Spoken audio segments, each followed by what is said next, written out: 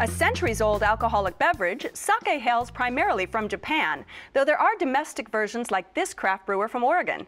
Sake is made from rice that's been polished to expose the starch, eventually allowing sugars to ferment to alcohol.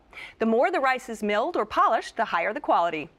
Each sake's unique character comes from not only the type of rice, but also the flavors imparted from the local water, koji spores, and yeast used.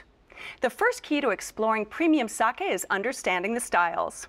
If you see Junmai, it showcases an ethereal lightness. By the way, sake still is only slightly more potent than wine. If you see Ginjo or Daiginjo styles, these are the cream of the crop.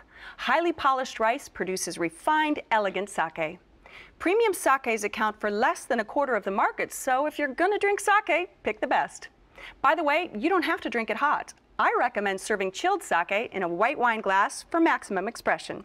And did you know you can even get a sparkling sake? Sake to me.